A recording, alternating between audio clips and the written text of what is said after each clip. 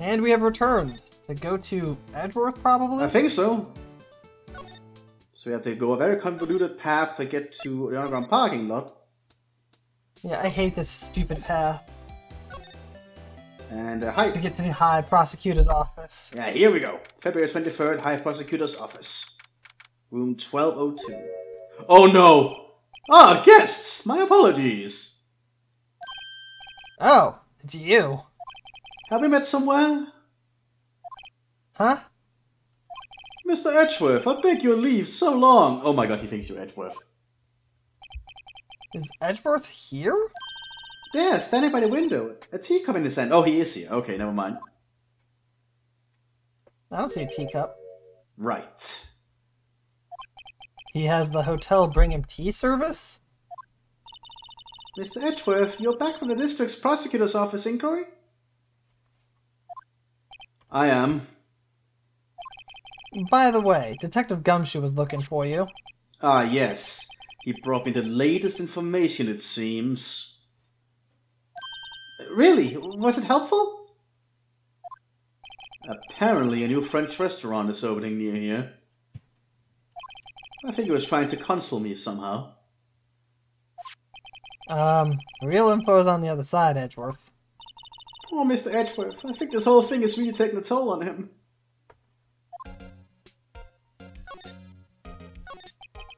So, how did the inquiry committee go? Actually, they decided to treat this not as a case of concealing evidence, but as a communications error during the investigation. Concealing evidence? Yes, apparently there are some who believe that I concealed evidence. They gave me a warning. We were lucky this time. Again. Again? I've heard them say that so many times. Ever since that case two years ago. Are you okay for the trial tomorrow? Well, I'm still the presiding prosecuting attorney. However, Something happened? they gave control of the investigation over to the police to the police department. The police department? Yes, any further investigation for this case will be directed by the chief of police Gant. I can do nothing but wait for his results. I see. Why, I ask you? Why? All along, I've done only what I believe is right. I have nothing to be ashamed of. But still, Wow, I've never seen him this out of sorts. hmm, we need to show him something. But what? Do I just literally just throw things at him? Might as well try. Right, please. I'm the prosecutor in this case. You don't expect to sit down here and discuss the case with you over a cup of tea? I'll pass on the tea. Just tell me about the case. Mr. Wright, Mr. Edgeworth just told you no in a very polite manner. Whose side are you on anyway? If I just show him my best evidence, I can get some reaction out of him. Okay, we need to find the best evidence. Because that's the same.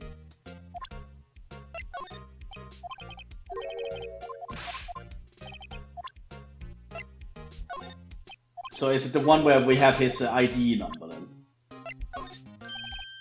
Oh, right. I better check this now. As I was saying, I... What's this? A record of ID card usage? Edgeworth, you went into the evidence room that day, didn't you? Just before the incident occurred, no less. Yes, that's true. Why, Mr. Edgeworth? Please don't look at me like that. I was asked to go, by Chief Gant, no less. The chief of police? He wanted evidence for a case that wrapped up half a year ago. He told me he wanted me to keep it here in the prosecutor's office. But it was solved, right? It would have to be if it, the evidence was already filed. The chief has never wanted to explain himself. In any case, on the day of the stabbings, I brought this back here. Can I ask what kind of case Can it ask? was? Oh, I forgot. I didn't paying attention. I can't say. It really has nothing to do with the current case. Now I'm curious about this other case. I'd better make a note of it. Evidence from a past case of Edgeworth's brought back to his office by Gant's request. A screwdriver. Stubborn as always, I told you this has nothing to do with the current case. Hmm. I don't think there's anything else we can show him here. But it, it's something with that screwdriver, I imagine.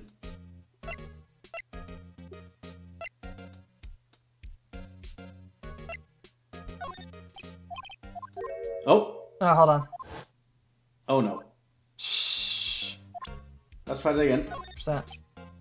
I know you. You're probably gonna hold us some information already, right? It all has to do with that case you were on, the SL9 incident, and some dark suspicion you were wrapped up in. You were the man who revived the worst memory of my life. I'm sorry?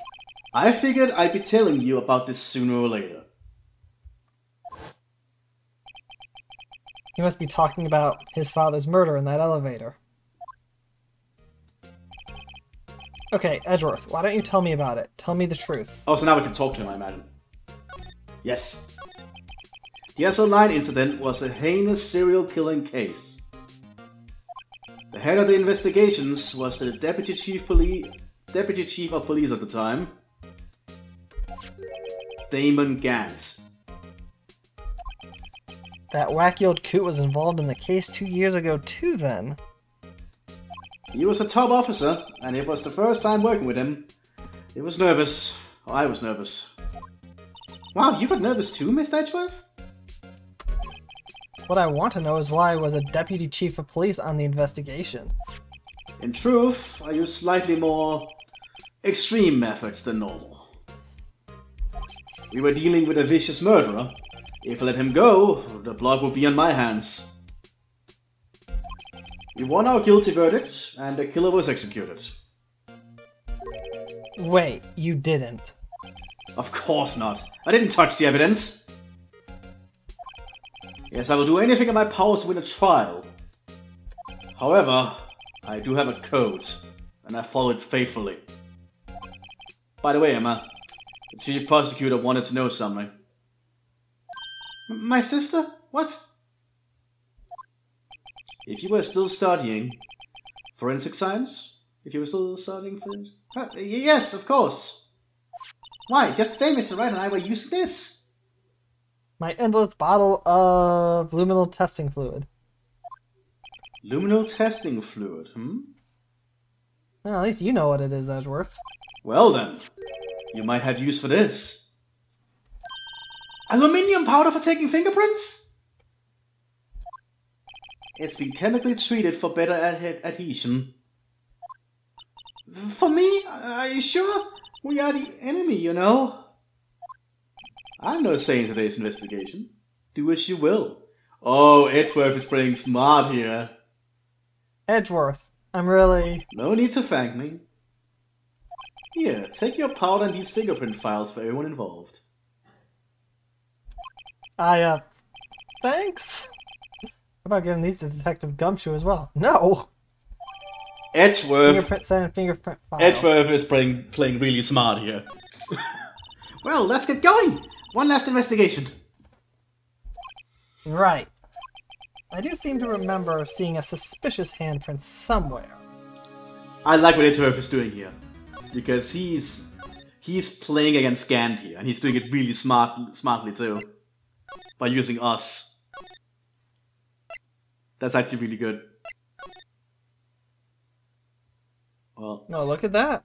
He's not in there. February 23rd, evidence room, sector 3. Our investigation turned up a suspicious handprint. Here, in this blot on the detect here, in this blot on the detective's evidence locker. Let's use the secret weapon we just borrowed. Permanently. Aluminium powder. Right, let's get started. First, choose a finger. A finger. Each finger leaves behind a slightly different imprint. So let's choose the finger that will have left behind the clearest print. I really can't tell the difference at a glance. Quit procrastinating and choose a finger. It would be the thumb? This is sideways. That's though. true. At least it looks sideways to me. This is not. Okay, now it's time to check for prints. Let me show you how it's done. I'm starting to get that sparkle in her, in her eyes. First, we sprinkle the aluminium powder around Huh? How do you do that? We enter. See? Ah. Looks like that did the trick. Aluminium powder adheres completely to the print. Once the powder is well spread, just blow away the excess. Huh? How do I do that? With E. Exciting, I know. Uh, okay, I don't actually have to blow. Obviously, because a computer doesn't have that. Imagine you're blowing out the candles on a birthday cake. See? Wow, that looks like fun. Might take some getting used to though. But for Phoenix Wright, for this one, they could have just if you had a microphone active, they could have had like sound compensate for that. That's true. But I'm not sure how. That's what they did with the DS, I think. Yeah, with the DS. Because you blew into its microphone. Yeah, but the DS was also made to have that feature, so. It's fine. It won't go up your nose or anything. You just pour the powder on thick and blow away the extra. Those are the basics of fingerprint fingerprinting, Mr. Wright. I guess I'd better give it a try. Alright, she said thick. That is a lot of aluminium powder.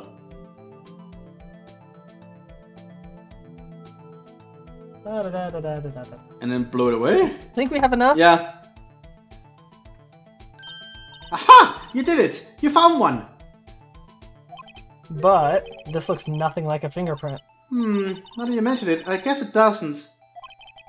What does it mean? The I rubber glove. What does it mean? The rubber glove. I think it means we had a luck. Out of luck. The person who left Person this who left this. Oh, handprint must have worn gloves. don't tell me we've been wasting our time here. Hey, calm down. That's just the way it goes sometimes with scientific investigations. But it does seem a shame. While we're at it, why don't we look for other prints? Other prints. Looking at the locker door again closely. Ah, you see that uh, black shade? It seems like there are fingerprints outside the bloody handprint as well. Let's see if we can find a clear print. Hmm. Fingerprints outside the blood. You can kind of see it. Right here. no. Well, lay it on thick, I guess. All the clicking. Sure. Oh, yeah, yeah, that's a fingerprint. I don't know.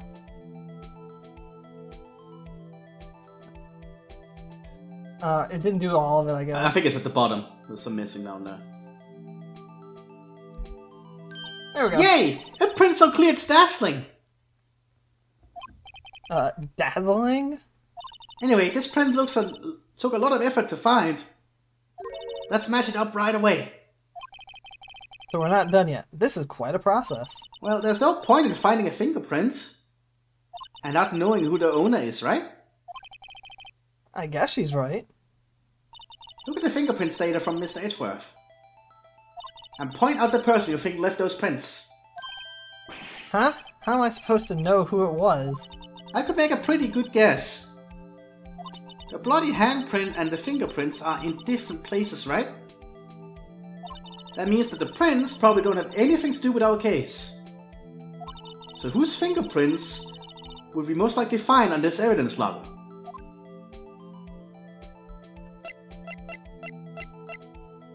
Obviously, Gum- Gumshoe? yeah, Gumshoe.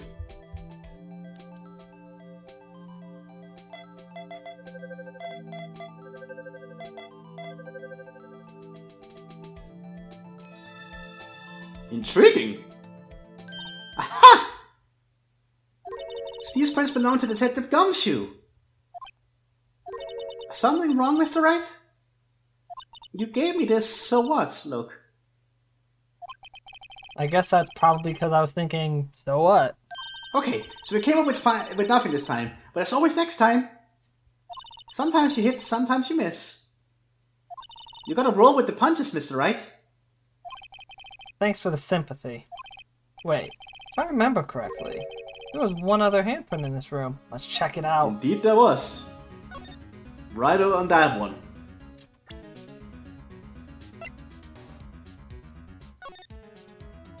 Oh, you. I think you, we might have to spray luminol fluid on it first. Ugh, of course we do.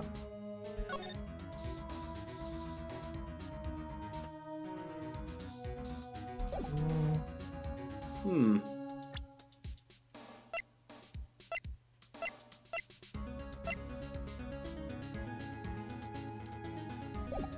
We doing this wrong? we got to examine. This is where we got a luminol fluid reaction, right? Right. There was a handprint here. Okay. Want to try using this? There go her eyes sparkling again. Eh. Nah, let's leave it be. Surely it's nothing. Let's check the prints. Yeah, let's check for prints. That's the spirit. Oh, but I have to warn you about something first. What? The area with the blood was swiped away, right? We only ended up finding it using chemical means. Any prints in that area will have been wiped away too. Oh, right. So that means no prints. Would you say the probability of your hypothesis is high? Uh, don't ask me.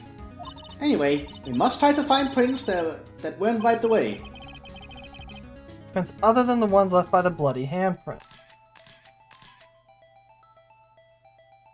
Uh.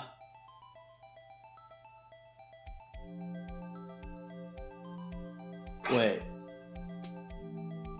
You could point at something next to the thing. So there's shown two here that are not bloody. Yeah.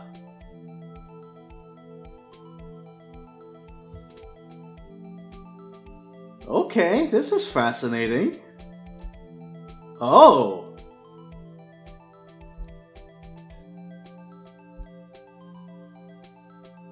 Shit, you need a lot.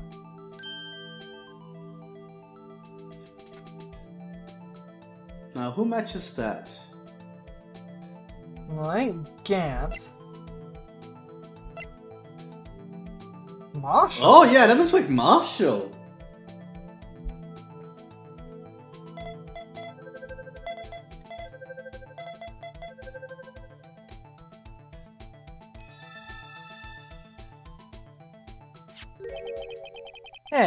These fingerprints, they. Whose are they? Whose? Is it someone I know?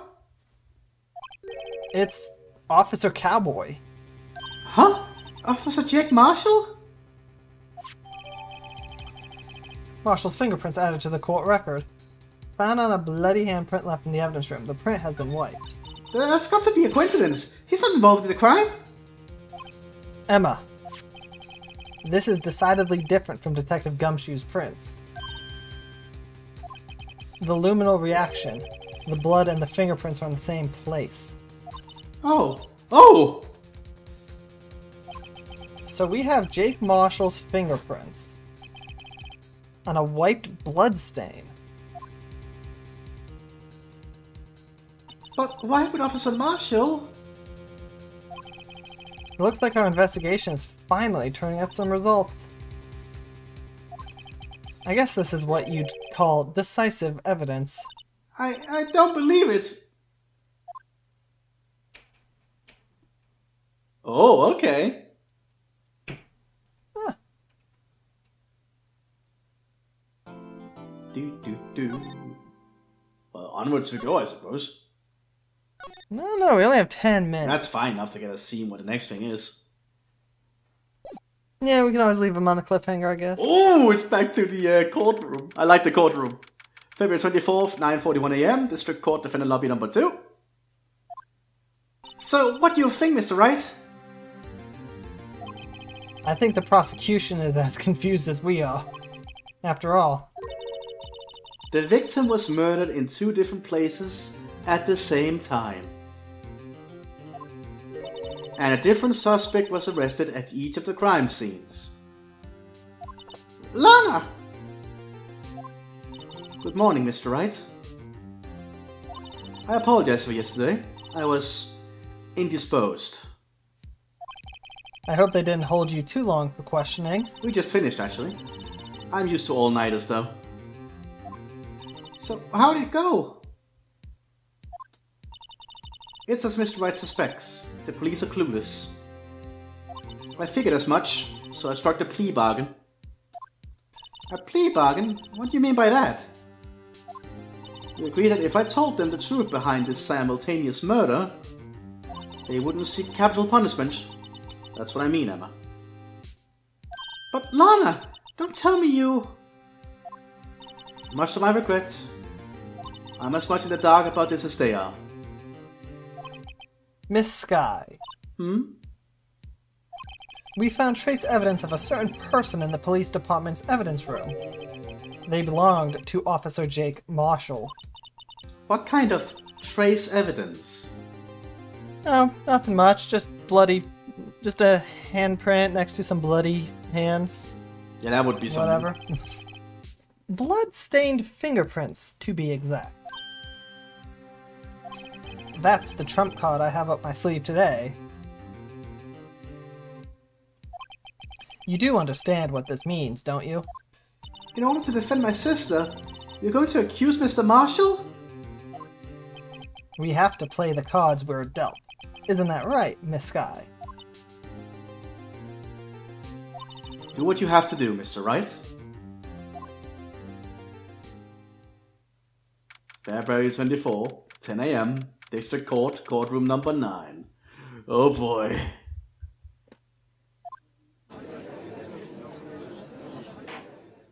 Court is now in session for the trial of Miss Lana Skye. The defense is ready, Your Honor. The prosecution is ready.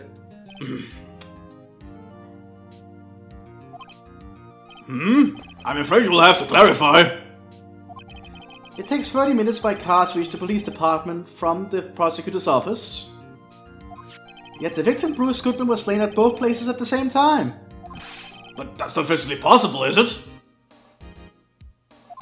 What's more, I hear the victim was from the evidence room just disappeared.